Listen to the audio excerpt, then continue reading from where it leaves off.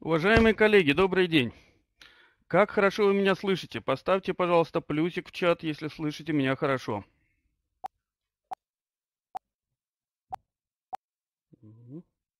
А, прекрасно. А, я вижу, тут появилась уже Татьяна Да, Викторовна. день, А, коллеги. ну, пока пару минут, да, пару минут, э, пока займу у вас я на общие вопросы. А, ну, во-первых, э, а, я прошу тех, кто э, зашел не первым на наш вебинар, пронача- про, про, э, промотать чат самое начало. Там есть а, две полезные ссылки. Одна из них на расписание наших вебинаров на первое полугодие 2017 года. Я рекомендую вам открыть э, это расписание. В этом расписании вы можете зарегистрироваться на любой из э, вебинаров, который состоится до середины июня э, этого года. То есть у нас такое достаточно продвинутое расписание. А, Конечно, какие-то вебинары могут э, а, перенестись, но в целом а, это расписание уже выверенное и согласованное. А, Вот. И э, второе, сразу отвечаю на вопрос, а, один из самых э, частых вопросов, э, будет ли э, запись этого вебинара. Да, запись этого вебинара будет, и э, запись вебинара точно так же, как и записи всех предыдущих вебинаров, а, вы можете посмотреть на нашем видеоканале на YouTube. Его ссылочка тоже приведена. А, Пожалуйста, пользуйтесь этим а, каналом э, в качестве э, такого контентного э, контейнера, в котором э, располагается большое количество учебной информации по всем вопросам, по которым у нас проводятся вебинары в компании Direct Media. А, м, коллеги, ну и э, я хотел бы представить вам э, завтрашний наш э, вебинар, э, который будет вести э, заместитель генерального директора компании Direct Media Олег Молодецкий. Олег Владимирович, э, вот так вот называется наш вебинар.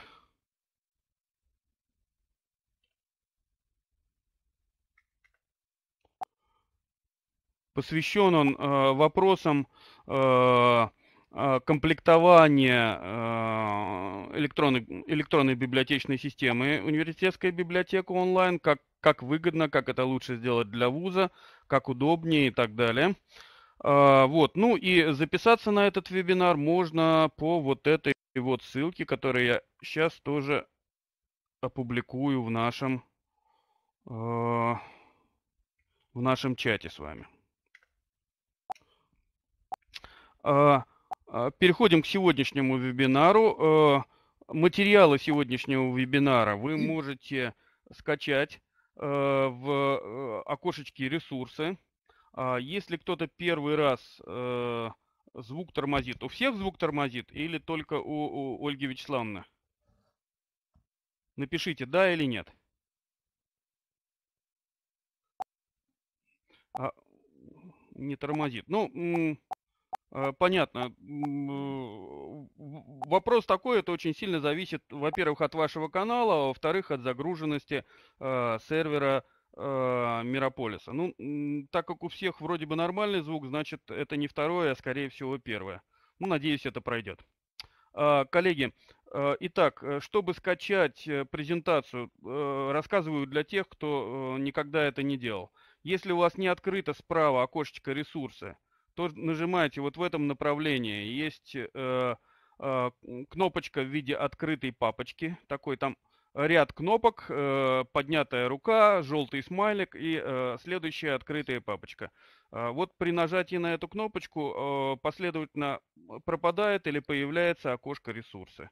Сейчас я сотру свою стрелочку, чтобы больше э, ей не... э, а, а, она не мешала.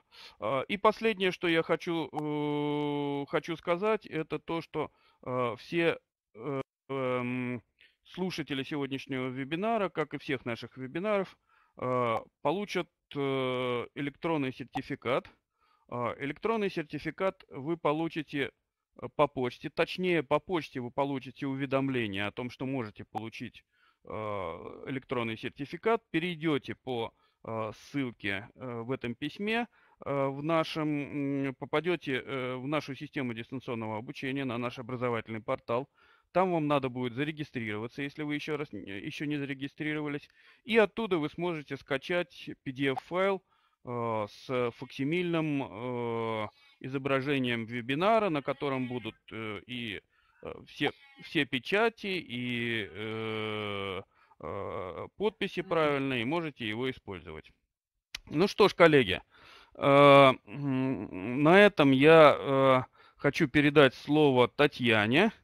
А, и э, уйду в чат, я э, буду присутствовать в чате, если будут э, вопросы к организации вебинара, я постараюсь к ним ответить. На остальные вопросы, пожалуйста, я прошу свои вопросы формулировать и писать в во вкладочку «Вопросы», потому что по себе знаю, что очень трудно а, следить за общим чатом, особенно когда достаточно много народу, и ваши вопросы могут уйти наверх, и спикер может не заметить. Поэтому, если вы хотите, чтобы ваши вопросы заметили, пожалуйста, пишите их э, в, во вкладку «Вопросы».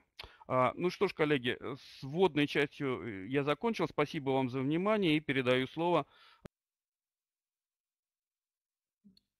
Спасибо, Павел Юрьевич. Юрьевич. А, уважаемые коллеги, добрый день. Рада вас видеть сегодня на нашей встрече. А, скажите, пожалуйста, хорошо ли меня слышно, видно ли рабочий стол? Поставьте, пожалуйста, хорошо ли видно, поставьте, пожалуйста, плюсик, если это так. Ага, спасибо. Если будут возникать... Э, видимо, слышим. спасибо, Павел Юрьевич. А если будут возникать какие-то проблемы со звуком, пожалуйста, сигнализируйте в чат. Ладно, по ходу. А, итак, сегодня наша а, встреча очередная в цикле школы научной публикации. Это а, посвящена вопросам стандарт, стандарта научных публикаций в периодическом издании. И в какой-то мере мы сегодня некоторый итог подведем того, что мы рассматривали на предыдущих вебинарах. Те, кто ходил, помнят, мы различные аспекты рассматривали, касающиеся оформления, а, составления научных публикаций в периодических изданиях. И вот сегодня а, такой небольшой промежуточно подводящий итог а, вебинар встречи. Говоря о стандартах, есть несколько пониманий, что это такое, несколько определений. Мы будем рассматривать скорее второй подход. Так, прибавить громкость. Хорошо, прибавим. Попробуем прибавить громкость. Угу. Да.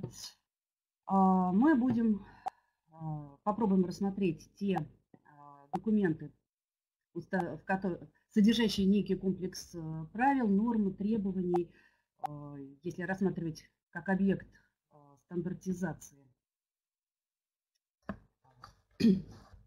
если рассматривать как объект э, стандартизации научную публикацию, э, то э, вот с этой точки зрения мы поговорим о том, какие есть лучше. Хорошо. Какие есть правила, рекомендации. Татьяна, да. у вас микрофон от, отвернут от э, наверх не, головы. Не, не, у меня все, все правильно. Это специально, да?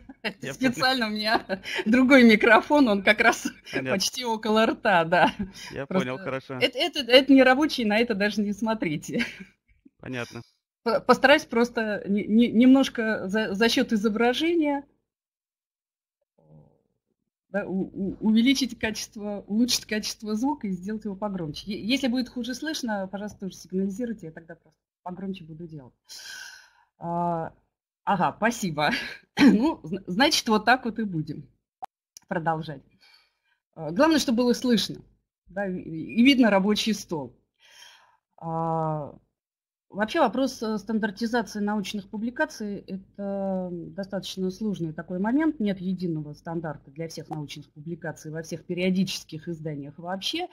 А, либо единого стандарта для публикации в отечественных изданиях, либо в тех изданиях, которые индексируются а, в Scopus или Web of Science, э, для зарубежных изданий. Какого такого единого стандарта не существует. Поэтому чаще всего нам приходится обращаться а, к обращать внимание на те требования тех э, изданий, в которых мы собираемся публиковать наши статьи.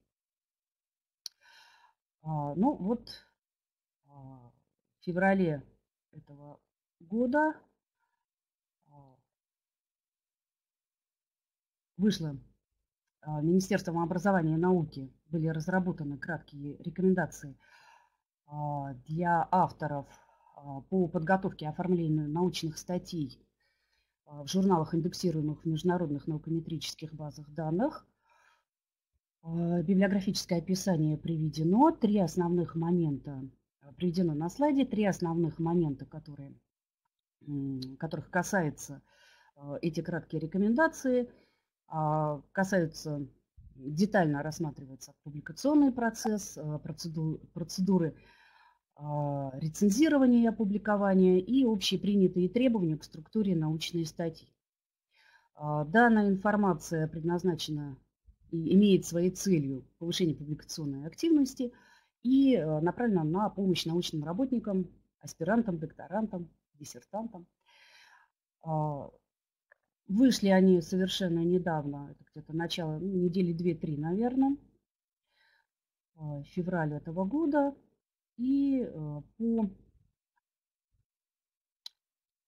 э, этим кратким рекомендациям мы с вами для начала пройдемся, затем посмотрим, какие есть э, стандарты и стили оформления международные, принятые в Scopus и Web of Science, и несколько практических моментов рассмотрим, которые пригодятся при подготовке научных публикаций. А, вот такая схема, что касается публикационного а, процесса. Вот такая схема приведена а, в кратких рекомендациях. В кратких рекомендациях. Ой, Рауф Рифгатович, немножко даже испугали, так понимаю, что поздоровались. А, два основных этапа – это подготовка результатов исследования к публикации и непосредственно сам а, публикационный процесс. Они представлены схематически.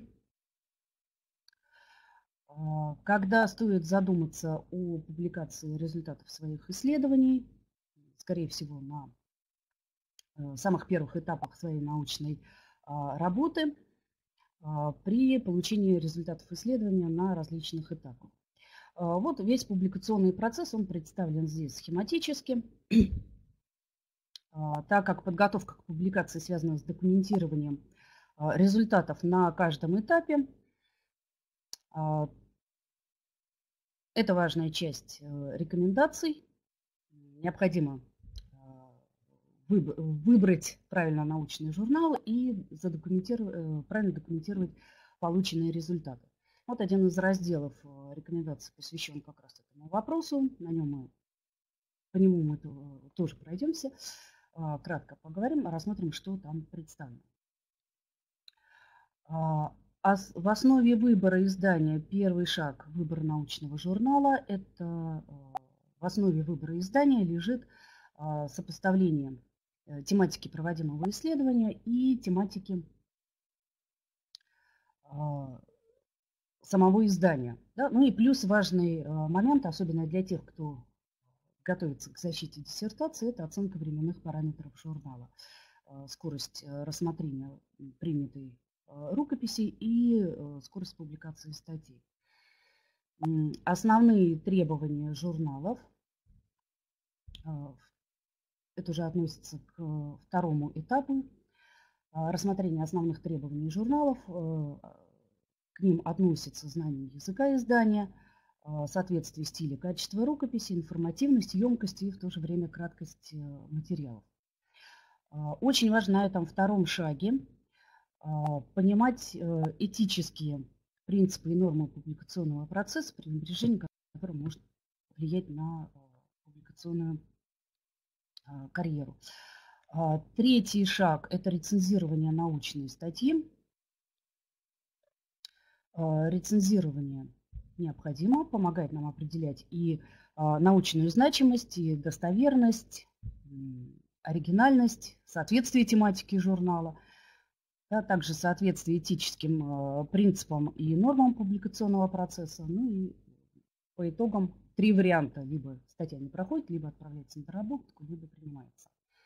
А, четвертый этап связан с опубликованием. Ему должен предшествовать э, договор о передаче прав на публикацию.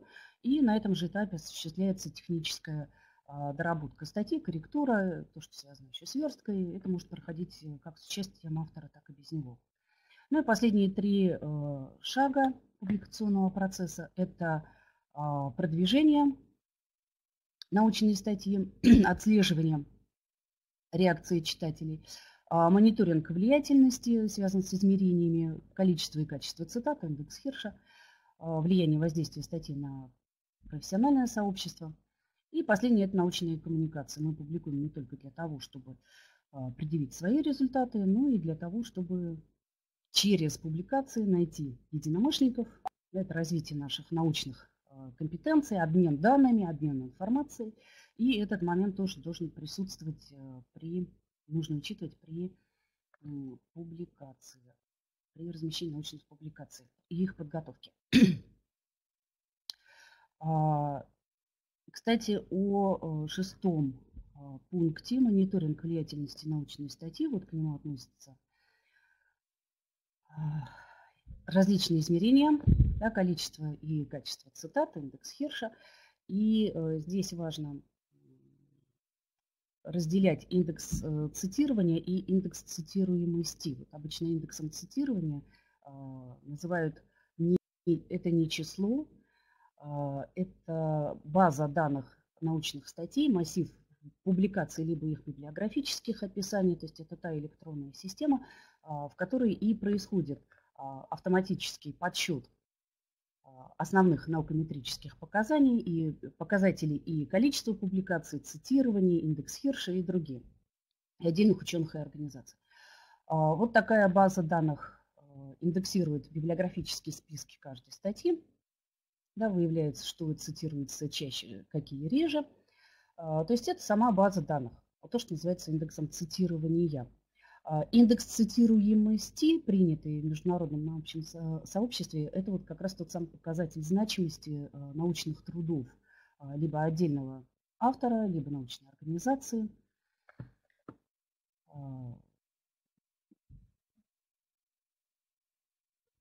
который представляет собой суммарное количество ссылок на его публикации, распределенные по годам, в научных периодических изданиях реферируемых –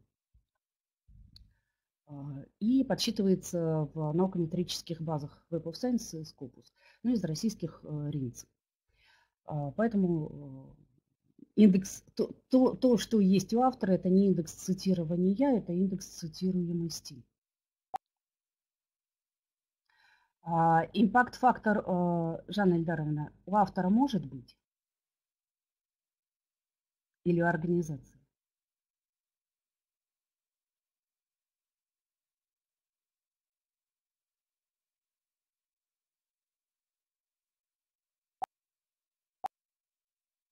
Да, да, про, про журнал, да. А, просто сейчас мы говорили о а, автора, про авторов, поэтому так немножко меня озадачили вопросом про импакт-фактор. А, да, у журналов, э, мы сейчас с вами к выбору журналов подойдем и про выбор научного журнала, там как раз про импакт-фактор я скажу. Вот мы к нему как раз и переходим. А, один из э, важных моментов, а, который необходимо нам выполнить, это выбор научного журнала. И пять э, пунктов, которые э, необходимо учитывать при, для того, чтобы выбрать то научное издание, в котором действительно стоит публиковать свою статью.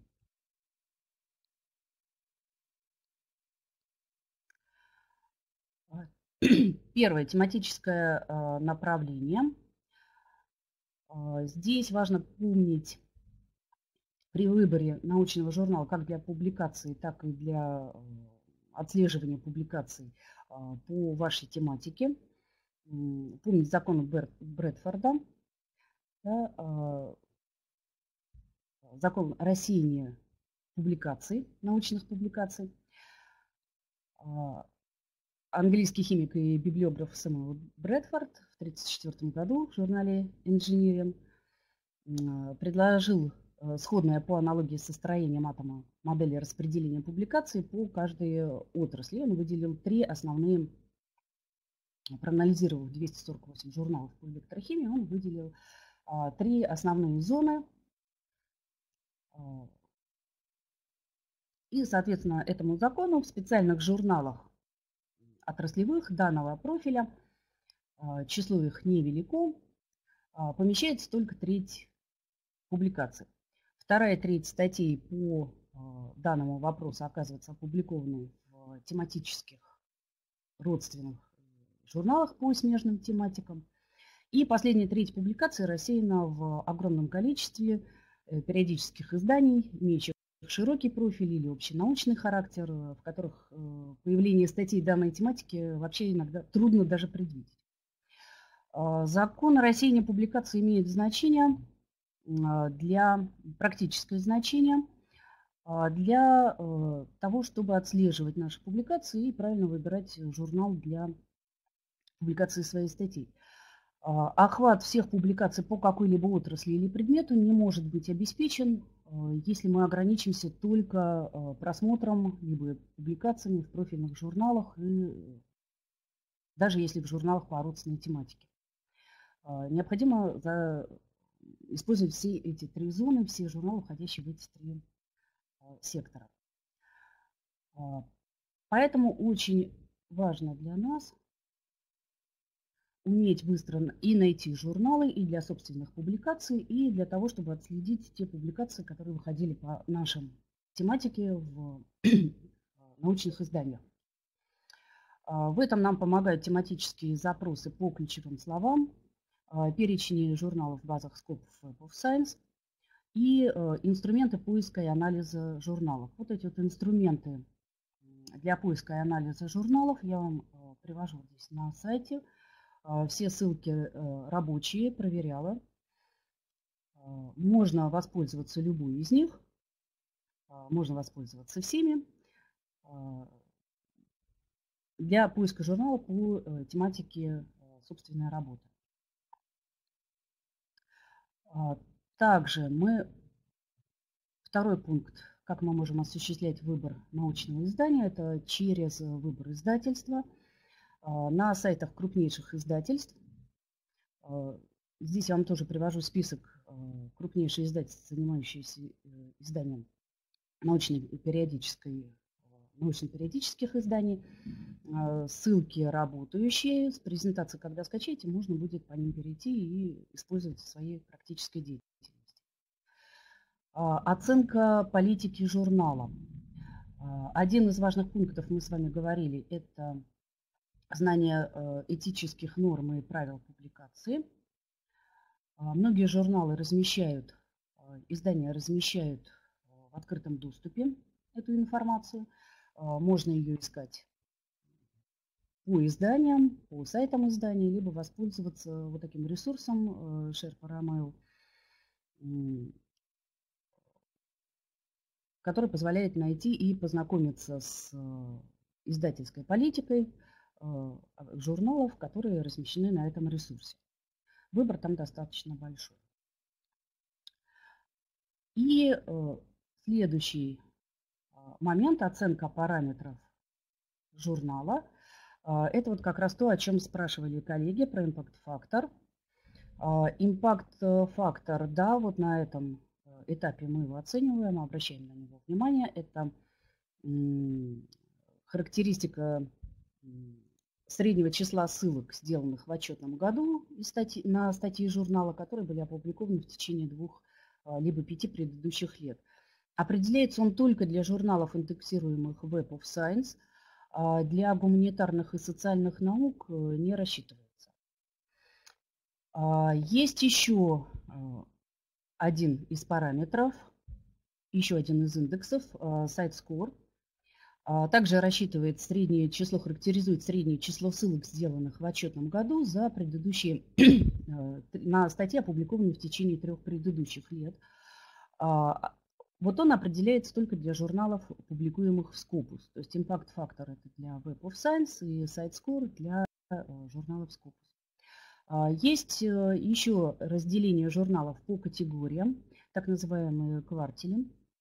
Категория научных журналов а, отражает э, уровень цитируемости, востребованности журнала научным сообществом. И таких квартилей есть четыре. А, наиболее авторитетные журналы попадают, как правило, в квартале Q1, Q2. Ну и самый низкий это Q4. Вот это тоже можно использовать при выборе издания. А, ну и пятый момент – это анализ данных о журнале. Про него мы уже с вами говорили. Это скорость, во-первых, э, скорость э, приема рукописи и работы с ней, и скорость публикации. А, следующий момент, а, важный, отраженный в рекомендациях, касается общепринятых требований к структуре научной статьи. А, как на одном из предыдущих вебинаров мы с вами рассматривали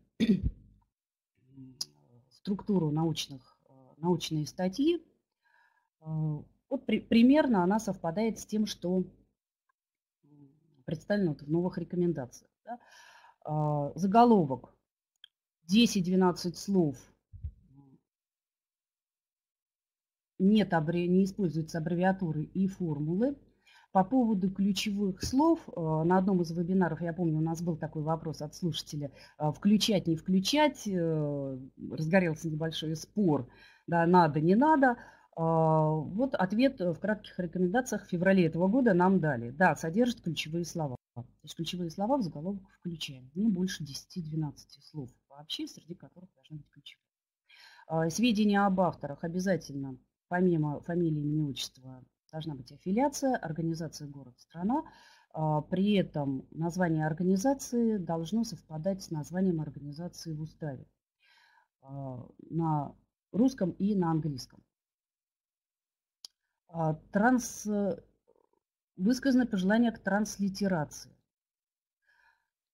Тоже важный момент. А, едино, постарайтесь соблюдать единообразие во всех статьях э, э, при транслитерации названия организации и э, своих собственных данных. А, из-за этого потом возникают проблемы с поиском собственных работ, либо с поиском необходимых статей. Из-за того, что не соблюдаются правила транслитерации, не соблюдаются правила единообразия. Ну, так же, как с библиографическими описаниями. Да. А, можно написать так, можно написать так. Есть а, различные вариации. ГОСТы все-таки носят у нас рекомендательный характер, а, но принцип единообразия при публикации должен соблюдаться. Очередность упоминания авторов также важный момент. Не обязательно по алфавиту, чаще всего от их э, вклада в выполненную работу. Да, поэтому здесь э, в алфавитном порядке алфавитный порядок может не соблюдаться. А, аннотация в среднем 150-250 слов в зависимости от э, тематики журнала по различным наукам различное количество слов рекомендовано. Э, обязательно должна быть отражена э, актуальность тематики, постановка проблемы, цели, методы, результаты исследования и ключевые выводы. Основные Основное содержание, что должно быть в аннотации. А, ключевые слова 8-10 слов и словосочетаний в среднем. А, по некоторым а, направлениям, областям научной деятельности допускается от 6 до 12 слов. Отражение, э, ключевые слова должны отражать специфику темы, объект, результат исследования. Основные приложения. Это 3-5 пунктов, Э, кратко отражающих ключевые результаты исследования. Э, текст статьи благодарности как э, элемент структуры вынесен, сейчас рекомендован к использованию, признательности, благодарности коллегам, организациям от автора. И референсы, список источников, только, напоминаю, источники, использованные при подготовке, и чаще всего соответствующие обязательно соответствующие стандарту, принятому в данном издательстве, э, чаще всего для публикации в изданиях, индексируемых в международных базах, наукометрических базах данных, используется 8 международных стандартов. Чуть попозже мы по ним кратко с вами пройдемся, какие стандарты применяются. А, ну и текст. К тексту тоже есть а, в кратких рекомендациях указания, что а, рекомендовано использовать в данном элементе структуры введение, актуальность тематики, обзор, постановка проблемы, цели, задачи, детальное описание методов, схем, алгоритмов исследований, наблюдений, экспериментов, результаты да, в любом виде, в текстовом, э, графическом.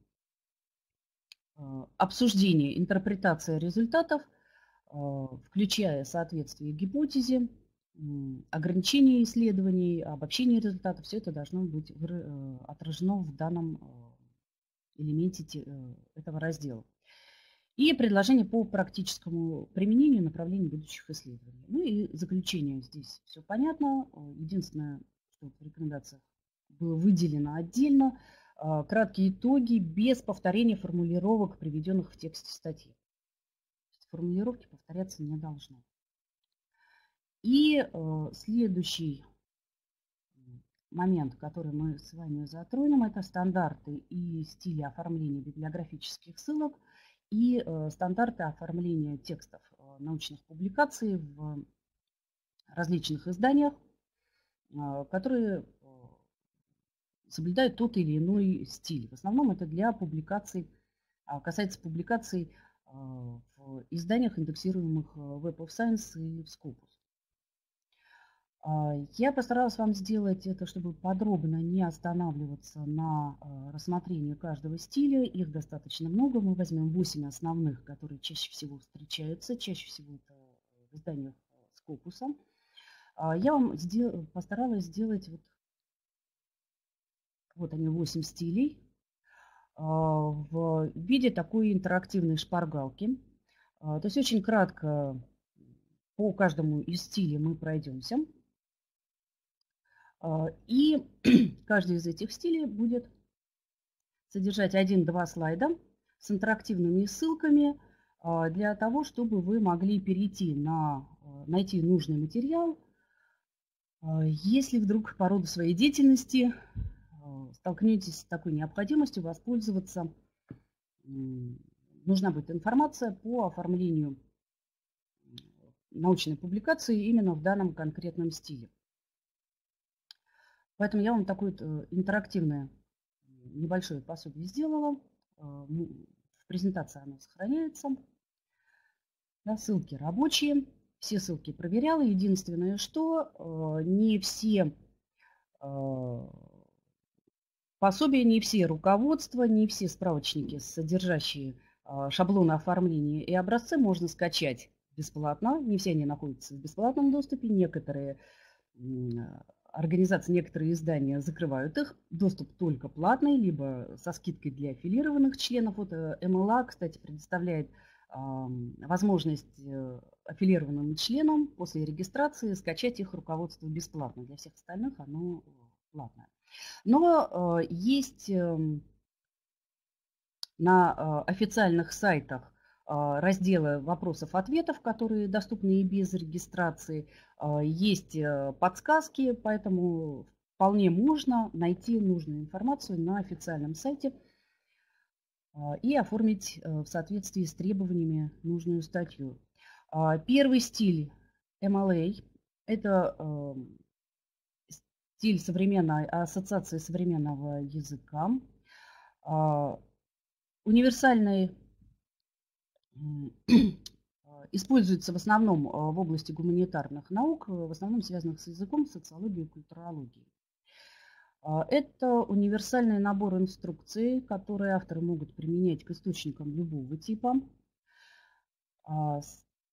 Официальный сайт приведен здесь и есть э, справочник MLA, восьмая редакция, совершенно свежая по состоянию на апрель 2016 года, разные версии.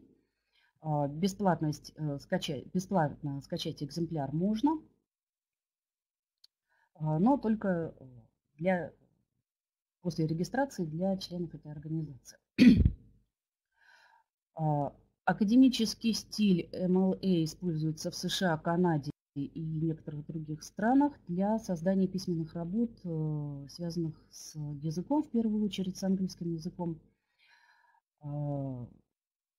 литературой, средств массовой информации, культурологией и смежные дисциплины.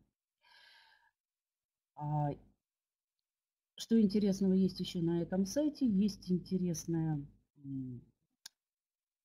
вот такой краткий э, гайд по составлению описаний. А, свое это не генератор, свое описание составить нельзя, а, введя туда данные.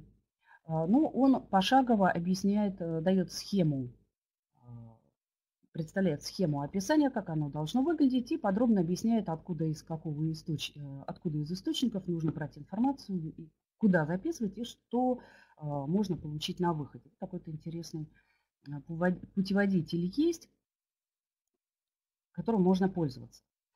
Следующий стиль. Американская психологическая ассоциация. Первое издание вышло в 29 году, сейчас уже, по-моему, шестое. Используется для оформления цитат и источников по психологии, образованию и социальным наукам. Часто используется медицинскими журналами. Руководство по публикации Американской психологической ассоциации а, предназначена для студентов, преподавателей, а также писателей и редакторов э, в области социальных психологических наук. А, содержит рекомендации по всем аспектам а, процесса создания публикаций. Не только, кстати, это касается многих а, руководств, многих хендбуков и учебных пособий, которые здесь представлены, вернее, большинства из них, они содержат рекомендации по стилю не только в части оформления библиографических описаний, ссылок и references, э, но и касается рассматривают многие вопросы, которые касаются оформления статей, а, академического стиля, принятого для изданий, э, входящих э, в эти ассоциации, в эти организации, использующие данный стиль. Поэтому при подготовке а, публикаций э, вот эти учебные пособия будут полезны не только для оформления списков источников, но и для подготовки самого текста публикации. А, здесь же содержатся многие ответы на многие вопросы об этике авторства – а, о политике, о этике публикационного процесса. И э, предлагаются рекомендации по выбору заголовков, оформлению таблиц, э, рисунков, а, научному стилю статей. А, есть бумажные версии, есть э, у этой же ассоциации онлайн-курс обучению стилю, но достаточно дороговатый. Можно обойтись вполне блогами. А, следующий стиль, который часто встречается, это чикагский стиль цитирования, а, который называют еще иногда Библией редакторов. Известен с 1906 года, а, был разработан университетом Чикагской прессы, и в 2010 году вышла последняя, по-моему, версия, 16 редакция. Стиль применяется в социально-научных публикациях и во многих исторических журналах. А, также охват, э, здесь рассматривается ряд вопросов подготовки э, не только списка источников и оформления ссылок, но и подготовки самой рукописи к публикации, а, вопросы грамматики и многое другое, то, что относится к данному стилю. А,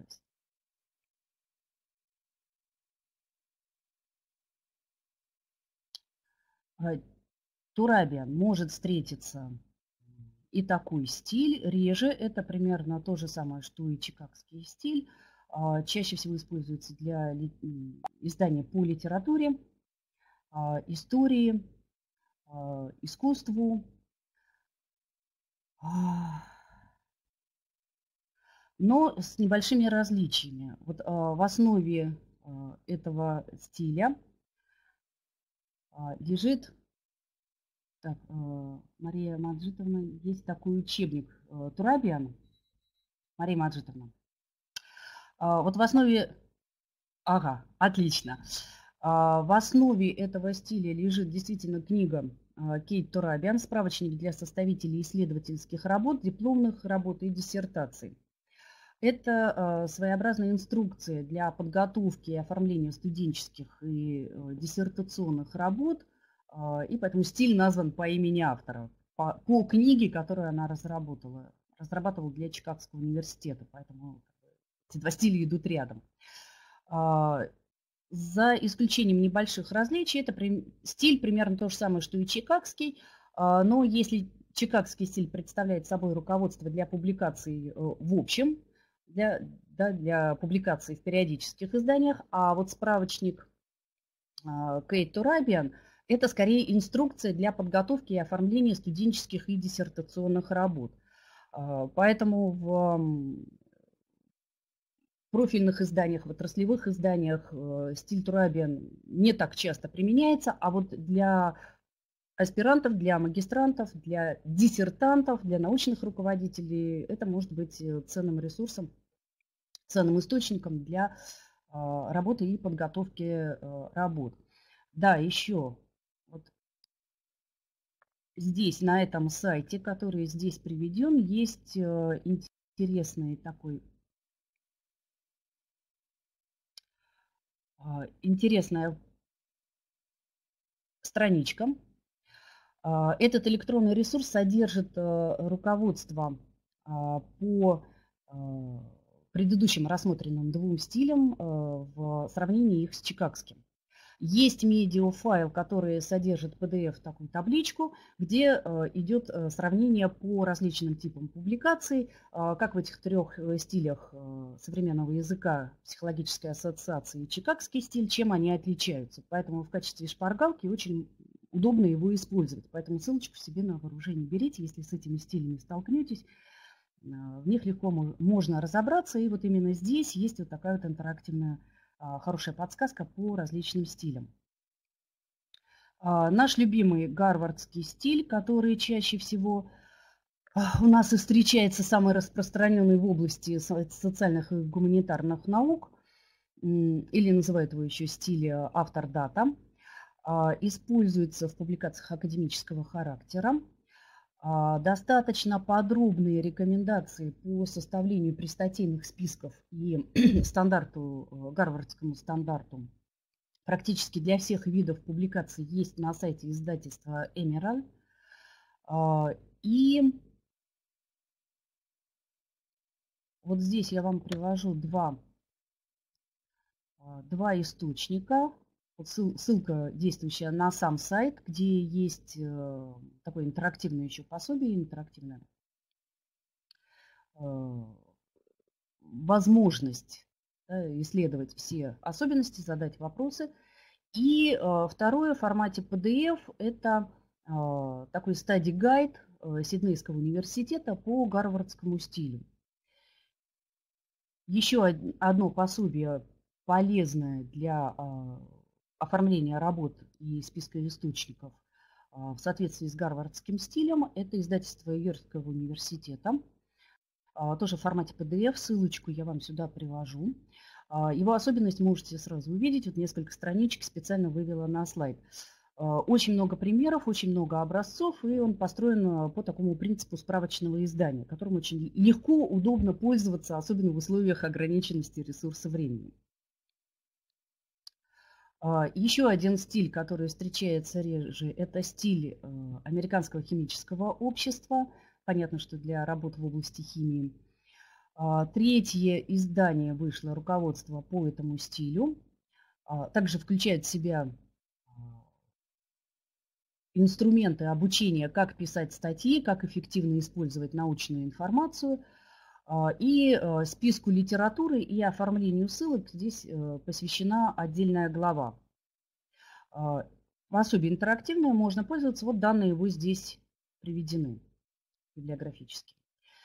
А, еще один стиль, да, это мы уже так, от гуманитарных наук переходим к техническим. Стиль Америк... Э, Американского института физики – а, он основан на а, специально разработанном стиле, который изложен вот в этих двух пособиях. Во-первых, учебник, вот этот мануал в формате PDF, это касается, он касается в основном вопросов библиографического оформления, оформления списков, ссылок. Вот эту инструкцию можно скачать, инструкцию автора можно скачать с сайта организации. Здесь больше информации для подготовки текстов статей, для оформления. Если вдруг вы с этим стилем столкнетесь, вот это будет хорошее пособие, хорошая помощь. А, Еще один стиль, предпоследний. А, стиль Института инженеров электротехники и электроники. А, области применения – это в основном научные работы по электронике и информатике. Правила этого стиля изложены в двух учебниках, в двух таких хендбуках, которые доступны на сайте организации. Сайт организации здесь есть. А, и ссылки на эти учебные пособия я вам тоже сюда а, даю. Они в формате PDF, их можно спокойно скачать и использовать, если это необходимо. Ориентироваться на них можно, они достаточно свежие, по-моему, там 14 и 16 года. А, и последний стиль, с которым мы, вернее, даже два стиля, с которыми мы можем столкнуться, это Да, ванкуверский стиль и стиль а, Американской медицинской ассоциации. А, в основном для, а, по названию понятно, что это для э, медицинских э, изданий, изданий по медицине. Также вам привожу две ссылки на сайт, где есть возможность кратко просмотреть в интерактивном формате такое интерактивное пособие по оформлению и э, ссылка на руководство по стилю. Очень подробно, очень много схем, очень хорошо составлено. Поэтому если ваша тематика – это медицина и требуется оформление по этому стилю, пожалуйста, сюда. А, ванкуверский или цифровой стиль, э, его еще называют стиль под э, строчная сноска, ссылка в конце документа, применяется во многих журналах, особенно в области биомедицины. А, есть в онлайн, он выложен недавно, а, в 2009 году, прошу прощения. И вот два а, пособия, которыми можно пользоваться, которые доступны в открытом доступе а, в формате PDF. Я их вам здесь представляю. Вот во втором варианте, который не очень такой красивый и красочное, но здесь очень хорошие таблицы по подсказки по оформлению ссылок и списка источников референсов. Да, очень много Образцов приведено практически на все виды документов, включая электронные. Ну и э, маленький, маленький такой экскурс в наши стили, подводя э, итоги. Э, различия, разные примеры оформления библиографических описаний по всем этим восьми стилям, которые чаще всего используются в научных изданиях, реферируемых базах Scopus и Web of Science. Вот они здесь приведены. В основном а, это касается использования курсива либо обычного шрифта, а, разное положение года издания, да, использование, неиспользование э, скобок и так далее. Ну вот примерно как это должно выглядеть, э, приведено здесь по книгам и по статьям. А, по оформлению ссылок а, в отечественных изданиях, там 8 э, ну, стилей международных мы поговорили, а вот наш-то чуть-чуть не забыли. Да? А, это ГОСТ R705-2008. Кстати, в новых рекомендациях э, упоминаются три ГОСТа 2003, 2001 и 2008 года. Чаще всего мы используем затекстовые ссылки, про них мы и про оформление ссылок мы уже на предыдущих вебинарах тоже говорили. Можно будет посмотреть записи. Ну, так вкратце напоминаю основные а, моменты, да, которые нам нужно помнить. А, да, при оформлении э, для публикаций в Scopus и Web of Science э, используются только кавычки э, лапки, елочки не применяются. А в некоторых источниках вы можете, дающих рекомендации по оформлению ссылок и списков вы можете столкнуться с наличием елочек. При copy-paste такое иногда происходит, поэтому следите, чтобы у вас все-таки менялось на лапки. Не было этого, этой неожиданной радости в оформлении. А, схема описания источников в а, общая схема также ее привожу вам здесь, а, что обязательно должно быть с примером. И э, правила описания для а, Scopus.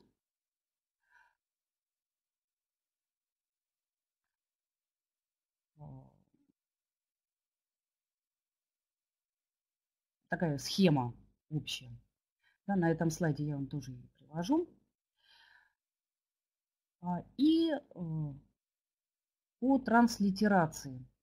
Мы с вами говорили, что э, транслитерация обязательно а, должна, использование транслитерации обязательно мы должны э, соблюдать принцип единообразия. А, в изданиях в основном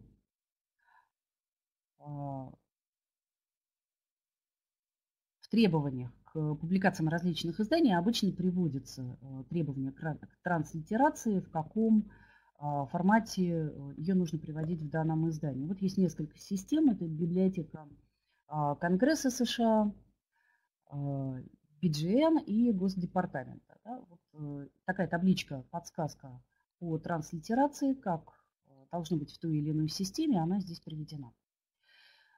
Также отдаю ее вам да, в качестве такой шпаргалки при подготовке научных публикаций к э, статей к публикациям. Ну и ресурсы для транслитерации. Самый простой это транслит, э, в принципе, такой общеизвестный, но на всякий случай тоже его сюда вам а, размещаю, да, для того, чтобы нам все-таки принцип единообразия соблюдать. А, по оформлению текста общие требования, которые э, чаще к шрифтам, межстрочным интервалам и э, прочим деталям э, оформления текстов. А, по большинству изданий они вот такие. То есть где-то отсмотрел больше ста изданий различной тематики, различной различных отраслей а, примерно одно и то же. Times New Roman Arial, межстрочный интервал, требования к абзацам, выравниванию и так далее. Различия могут быть в некоторых изданиях, особенно если это касается а, оформления по, а, в соответствии с одним из восьми стилей, которые мы сегодня рассмотрели. Поэтому все-таки учитывая общие требования, на требования конкретных изданий внимание обращайте. Э, внимание, э, прочитайте внимательно. Ну и э, при подготовке статьи еще один инструмент, который может нам помочь, индекс флеша, индекс фуга, индексы сложности текста, определение сложности текста для восприятия и уровня удобочитаемости текста. Для научной литературы показатели примерно должны быть быть в пределах. А, для определения, для работы с этими индексами а, есть э, определенные тестеры. А, в открытом доступе ничего там регистрировать не надо, платить тоже. Вот э, три таких инструмента я вам тоже здесь даю. Единственное, что там может быть ограничение по количеству символов. На одном из них было, по-моему, до 500 знаков, в другом побольше 1000-1500. Ну, в принципе, весь текст нам загонять и не нужно. Для того, чтобы определить индекс, рекомендуется брать а, три кусочка, где-то по 500 знаков э, из начала, из середины, из конца, например, параграфа или основного текста статьи. И э, их уже, по, по ним уже смотреть, их уже тестировать. А, последний ресурс, э, сайт оценки читабельности текста, будет полезен тем, кто пишет статьи на английском языке. Вот для русскоязычных текстов он не подходит, а для англоязычных очень даже он заточен как раз под англоязычные тексты. По требованиям к оформлению формул. А, чаще всего либо требования отсутствуют полностью, либо а, есть требования изданий а, использовать специальные редакторы формул. Чаще всего либо это MatType, он интегрируется в любой офис, работает под XP и Vista, но требует установки. Либо урезанная его версия входит в комплект Microsoft Office. И как ее найти, а, как вставить формулу а, в текстовый а, наш файл вордовский. Я вам здесь краткую инструкцию привожу и напоминаю про горячие клавиши, которыми мы пользуемся для того, чтобы вставить верхние и нижние индексы с помощью горячих клавиш. Ну вот э, урезанный редактор формул, ну, достаточный для того, чтобы использовать его в статье. А, в статьях, вот он здесь приводится. Да, единственное, что при наборе э, формул в этом редакторе не э, следует чередовать эм, фрагменты из редактора формул, набранные в тексте строки основным шрифтом. Да, и те, которые набраны с помощью команды вставка символ. Есть здесь э, нужно следить, быть аккуратными. Если уж начали пользоваться этим редактором, да, то пользуемся только этим редактором, не комбинируем. Итак, коллеги, мы сегодня с вами а, познакомились вкратце с несколькими пунктами основных кратких рекомендаций по подготовке научных публикаций. Посмотрели 8 основных, которые в данный момент можно рассматривать как э, рекомендации, ну и как э, такой э, выход на стандарт да, научных, оформления научных публикаций. А, познакомились с восемью чаще всего используемыми стилями оформления источников и списков источников, ссылок и, собственно, самих статей, а, который предъявляется к публикациям в научных изданиях, реферируемых в Web of Science и в базе Scopus. Узнали, что такое, что индекс цитирования и индекс цитируемости – это несколько разные вещи. Посмотрели, как основные пять пунктов, предъявляемых к выбору журнала. Более подробно требования журналов крупных издательств можно будет посмотреть в кратких рекомендациях, о которых мы сегодня говорили. Итоговая версия кратких рекомендаций в слайде а, в самом начале, там, где была схемка. А, посмотрите, пожалуйста, я вам тоже даю ссылку на а, этот файл. Можно будет поподробнее познакомиться. Естественно, что за один час мы все просто с вами не, не успели бы охватить. А, но имейте в виду, что а, в разделе 4, там, где приводится в рекомендациях требования журналов крупных издательств, это своего рода стандарты, но стандарты тоже обобщенные. Да, потому что в каждом а, отдельном издании, относящемся к той или иной области, все равно могут быть э, свои отличительные требования. Поэтому общие берем к сведению, но на конкретные а, рекомендаций конкретных издательств внимание обращаем. А, итак, коллеги, если есть какие-то вопросы, пожалуйста, задавайте. Вот вижу один у нас во вкладочке Ерофеева. Только, пожалуйста, во вкладочку вопросы, если не затруднит. А, Тамара Ивановна, надо ли ставить запятую после фамилии, тире между основными сведениями и местом издания? А, какие, э, в каких описаниях, Тамара Ивановна? Здесь э, есть различия.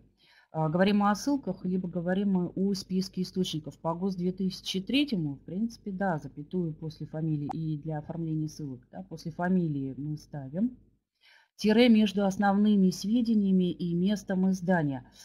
А, по списку источников, да, да, Хотя, а, опять же, ГОСТ э, штука хитрая. Он хоть и ГОСТ, но носит рекомендательный характер, поэтому а, ориентироваться нужно еще на те требования, на те методические а, рекомендации, которые разработаны в вашем учебном заведении, либо в той организации, библиографирующая организация имеет право да, вносить Э, свои рекомендации к ГОСТу, поэтому на, на это тоже обращайте внимание. Но в принципе по ГОСТу запятая после фамилии ставится.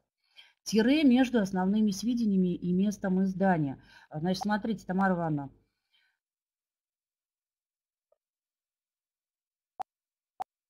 а, нет тире, есть точка тире. Вот э, место издания как э, отдельная область библиографического описания – перед ней ставится точка тире, тире отделяется двумя пробелами. А, особенности для гуманитарных наук, какие можно выделить? А, Галина Владимировна, если по стилю оформления чаще всего используется, если мы говорим про а, издания, реферируемые в наукометрических базах Web of Science и Scopus, то чаще всего используется гарвардский стиль, как для оформления ссылок, так и для оформления списка источников, references. Кстати, во многих отечественных изданиях, которые реферируются, входят в число реферируемых в этих базах данных, сейчас идет переход от э, ГОСТа к гарвардскому стилю. Поэтому э, смотрите требования к э, оформлению и ориентир, ориентир все-таки на гарвардский стиль. А каким ГОСТом преимущественно пользоваться, спрашивает Елена Дмитриевна. А, Елена Дмитриевна, смотря для чего. Если для оформления ссылок, то это восьмой. А, если составление списков источников, то опять же для чего? Если это диссертационное исследование, ориентируйтесь на 2011. А, не идеал, много сейчас вопросов возникает к этому ГОСТу. Все-таки, дай бог, на дворе 17 год, а с 11 он не переиздавался. Э, там много вопросов есть к нему, и, но, но пока он действует, да, поэтому свои исследования, свои диссертации мы все-таки оформляем по ГОС 2011. А если это э, список источников не к диссертационному исследованию, не пристатейная библиография, а отдельный, может рассматриваться как отдельный библиографический э, указатель, да, тот же список источников, например, КВКР по ГОСТу 2003 оформление идет. А, если мы говорим об оформлении э, электронных ресурсов, то 2001. Но опять же, э, многих примеров, э, что касается электронных ресурсов, составления библиографических описаний, это вообще больной, больной вопрос. А, приходится комбинировать, приходится использовать ГОСТ как рекомендацию, потому что многих образцов э, на тот момент, когда составлялся, 16 лет назад их, э, они просто не рассматривались. Да, поэтому здесь есть сложности, и а, что, что касается оформления электронных ресурсов, здесь и много споров возникает, и много вопросов. Вообще ГОСТ требует уже такой основательной доработки потребностям он уже не, не сильно отве, от, отвечает. Так. А как оформляются термины в кавычках внутри прямой цитаты?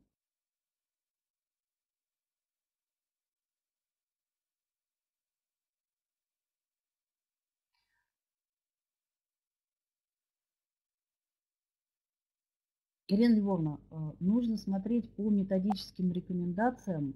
Э, либо это статья, либо вы говорите о э, ВКР, либо диссертационной работе. Какие требования к оформлению предъявлены там? Потому что мы говорили сейчас про, где елочки не применяются. Если не применяются, тогда да. Тогда остается только одно – номер актуального ГОСТа по оформлению печатных работ. А, Елена Петровна, а, вопрос. Можете сказать полный номер актуального ГОСТа по оформлению печатных работ. А, уточните, пожалуйста, номер. Сейчас на, на, на вскидку, может быть, и не скажу, но напишу. А, рассылку мы будем делать, поэтому этот вопрос я могу отразить там. Только напишите, пожалуйста, Елена Петровна, что вас конкретно интересует? А, Каку, по оформлению каких работ? Печатных работ для ВКР. А, так, делаем проще. А, Елена Петровна, я вам оставляю и всем участникам нашим сегодняшним а, свой адрес. На последнем слайде он есть. А, напишите, пожалуйста, да, а, что, что вас интересует. В принципе, для ВКР используется для составления библиографических списков использованных источников ГОСТ 2003. Для оформления ссылок ориентируемся на 2008. Если иного не предусмотрено в методических пособиях, методических рекомендациях вашего вуза. Потому что в некоторых вузах могут, могут быть э, различия. Поэтому сначала посмотрите в тех методичках, эм, узнайте у своих библиографов, что рекомендуют они в вашем конкретном вузе. Если никаких а, особых требований нет, тогда ГОС 2003 для списка источников и 2008 для оформления ссылок.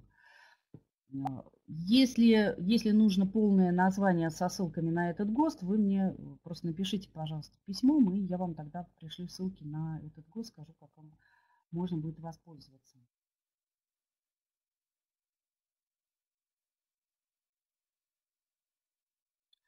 А, ГОСТ разрешает не ставить тире перед городом издания и перед страницами. А, Елена Петровна, какой ГОСТ и в каком пункте? А, в ссылках, да, в 2008, либо мы, э, там допускается два варианта. Мы можем не ставить точку тире, мы можем ставить только точку, но опять же принцип единообразия. Либо по всему описанию у нас идут точки, либо, либо нет. По ГОС 2003 мы ставим точка тире это знак, это один знак. Тире это не отдельный знак. Точка тире это один знак, который отделяет а, области библиографического описания друг от друга. Вот по ним мы ориентируемся. А, где заканчивается одна область, внутри которой может быть еще дополнительно большое количество факультативных элементов, где начинается другая. А, поэтому Мария Маджитовна хотела поделиться информацией. Есть возможность использовать специальные программы, автоматически сортировать ссылки в разных стилях. А, да, есть генераторы, еще руководство. Мария Маджитовна, спасибо за такой пример а, взаимопомощи, взаимоподдержки студенческой. Руководство по использованию программы на английском. Ага, спасибо, посмотрим обязательно и, возможно, включу в список. А, да, есть большое количество. Спасибо большое за ссылки. Интересно, посмотрим. Угу. Сортировать ссылки в разных стилях. Да, есть э, еще автоматические генераторы, которые позволяют создавать ссылки в разных стилях. А, но с ними нужно очень осторожно. А, лучше всего проверять. Все равно проверять приходится. А, как бы это ни было автоматизировано, как, какой бы хорошей штукой не был автоматический генератор, вордовский точно надо проверять, если вы пользуетесь встроенным, а, встроенными генераторами формирования списков Word. Проверять нужно точно, там очень много. Вот как раз поставили запятую, либо не поставили запятую, и у вас все описание посыпется. А, нужно знать правила библиографического описания, хотя бы его основы, иметь ориентиры или образцы а, и генерируя в автоматическом режиме обязательно сверяться. Вот именно поэтому я сегодня вам постаралась дать э, большое количество ссылок на а, различные руководства, пособия и интерактивные в PDF формате, с тем, чтобы, если вы воспользуетесь автоматическими генераторами, не поленитесь, потом, пожалуйста, проверьте по ГОСТам, по образцам, по рекомендациям, а, официальным рекомендациям э, тех ассоциаций, которые эти стили разрабатывали. Потому что машины машинами, но человеческий фактор все равно никто не отменял. И наши, разработчиков э, всегда нужно форматировать, всегда нужно следить. Поэтому на это, пожалуйста, обращайте внимание, каким бы хорошим автоматический генератор не был. У нас со студентами а, один генератор работает, который сами разработали без, без ошибок. Это генерирование списка источников по ГОС 2003 для книг э, одного, двух, трех, четырех и более авторов. А, вот, вот он работает, да, но на большие сил пока не хватило. А, он работает правильно. Ага, Елена Петровна, ГОС 2003, пункт не скажу, не помню. Елена Петровна, напишите, пожалуйста. Да, интересный момент, мы с вами посмотрим. Да, Татьяна э, Алексеевна, э, программы библиографические менеджеры, и э, есть в Менделай, например, да, такая вещь, и управление а, создаваемыми текстами, и управление ссылками, цитатами есть. Угу. Так, что у нас еще?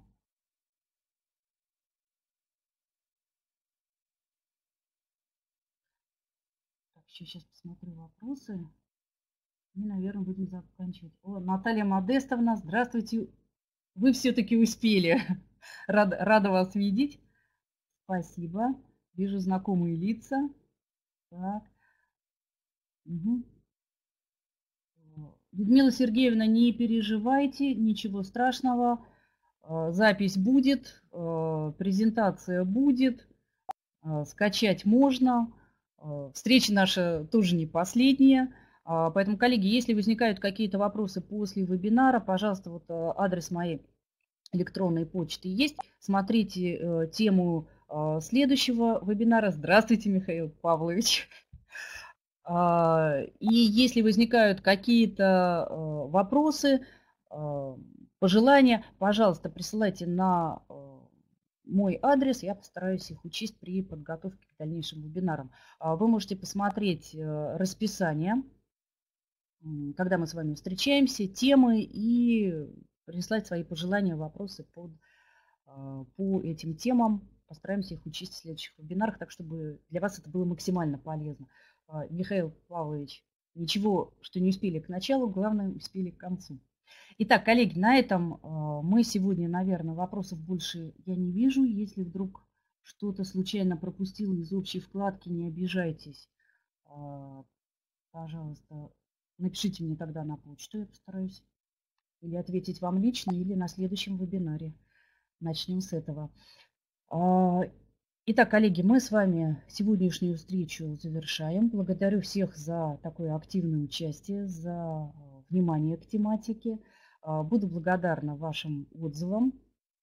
А, можно писать в чат, можно присылать на почту. А, большое всем спасибо. И, наверное, до новых встреч. Ну и, наверное, наверное, на этом мы расстанемся, а я передам слово Павлу Юрьевичу. Коллеги, я беру слово, чтобы тоже попрощаться с вами. И еще раз для тех, кто не увидел эту ссылку, запись этого вебинара будет опубликована через некоторое время на нашем учебном э, видеоканале на YouTube по вот этой вот ссылке. Э, заходите, подписывайтесь, и будет вам запись, сможете ее пересмотреть еще раз. Угу. Коллеги, я прощаюсь с вами. Спасибо Татьяне Викторовне за э, такой интересный вебинар сегодняшний. И мы ждем вас на наших новых вебинарах, э, в том числе и на вебинарах, которые проведет э, Татьяна Викторовна э, в, будущем. Еще у нас несколько вебинаров есть э, в этом. Э, да. Да, следите за, следите, следите за расписанием, за нашим расписанием. Давайте я вам расписание еще раз дам, потому что э, я видел, что э, Э, Э, люди э, заходили новые, могли не увидеть. А, вот наше расписание наших... Да, у многих да, расписание наших вебинаров. Э, да. да, мы старались сделать для вас красивое расписание, поэтому даже не успели к первому, да, к январю, вот только к февралю сделали. но вот надеюсь, что оно вам понравится и позволит вам посетить все вебинары, которые у нас есть. Спасибо вам. До свидания.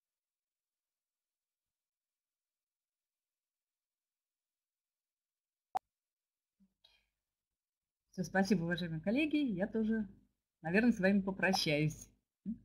Всего, всего доброго, всем удачи.